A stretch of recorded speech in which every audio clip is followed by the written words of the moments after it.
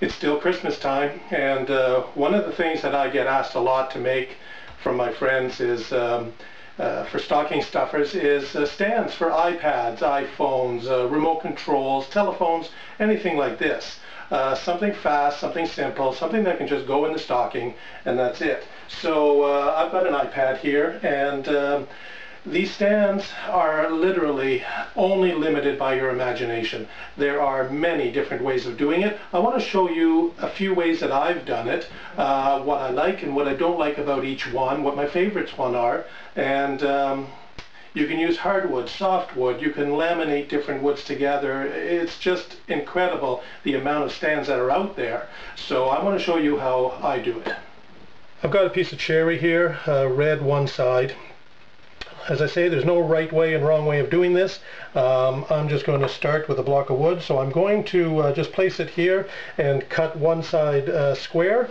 And then I'll slide it over to my stop block, which I made 5 inches from the uh, blade. And I'm going to cut a 5 by 5 inch block.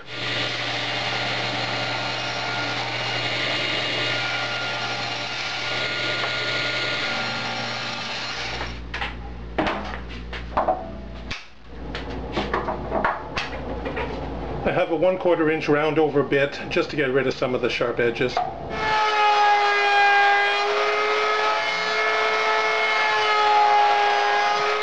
The next thing to do is to cut a slot. We're going to go with the grain. We're going to cut a slot maybe 3 eighths of an inch wide uh, in order to put the iPad in. Um, there's a couple of ways of doing this. You can either use a dado blade which will cut one groove in one pass. Very simple, very quick.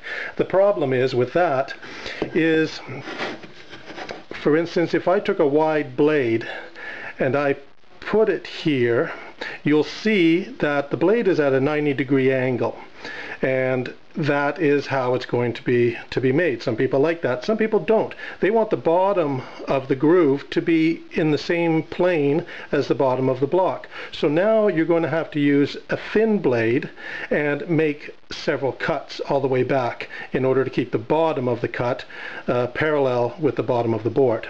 We'll do it in both ways in this case. For me, a 17 degree angle is good for the iPad. My iPad is about 3 eighths of an inch thick. I want the slot to go down about a quarter of an inch and that way I can still reach my home button if I need to.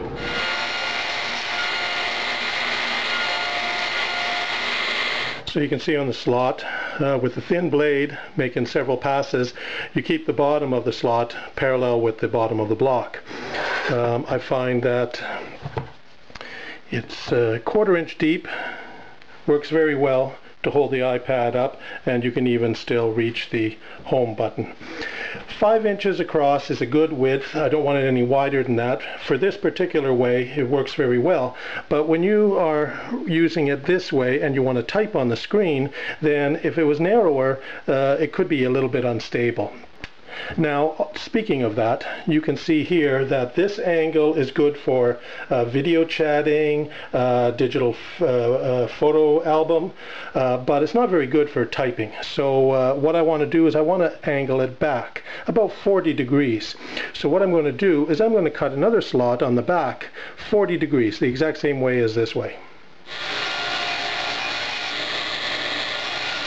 Well, there you have it. Simple square block of wood two uh, slots cut in it at different angles. Um, now you can put your iPad in at one angle. If you want the other, you simply turn the block around and put the iPad in at a steeper angle. Some people don't like this because they can see the second groove in the back. So what we can do is I cut another one out here where the groove is on the other side. So now when you have this in the block of wood, it appears that there's no groove at the top. If you want the other angle, you simply flip it over and you've got your shallow angle. If you also notice the two different types of cuts, this here is the dado blade in the bottom. Notice the 90 degree cut in the uh, in the blade. And uh, this one up on top was a thinner kerf blade cut multiple passes. This one's faster, uh, but some people like the bottom of the cut to be parallel with the bottom of the block. Even though this is one of my more popular brands, um, you're limited to two angles. In my case, 17 degrees and 40 degrees. Some people want to angle it a little more, a little less, or anywhere in between. So let me show you a quick way of uh, making one on the bandsaw that uh, will give you a little more angles.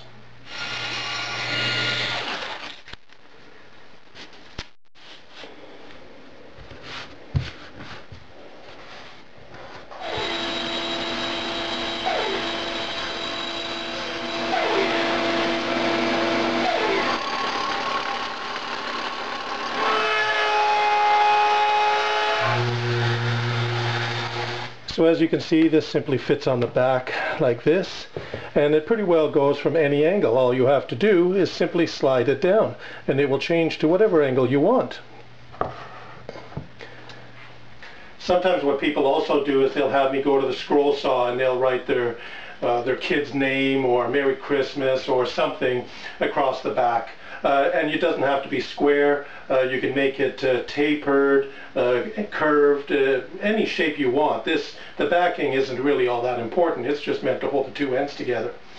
The issue with this particular one is that it only goes one direction. It only goes landscape mode. You cannot put it this way because it's too long. So, um, so that works if you're using landscape mode most of the time. I'm going to put on some polyurethane finish. So I had some extra pieces of walnut uh, scraps. I uh, cut some notches in them and uh, put some finish on it.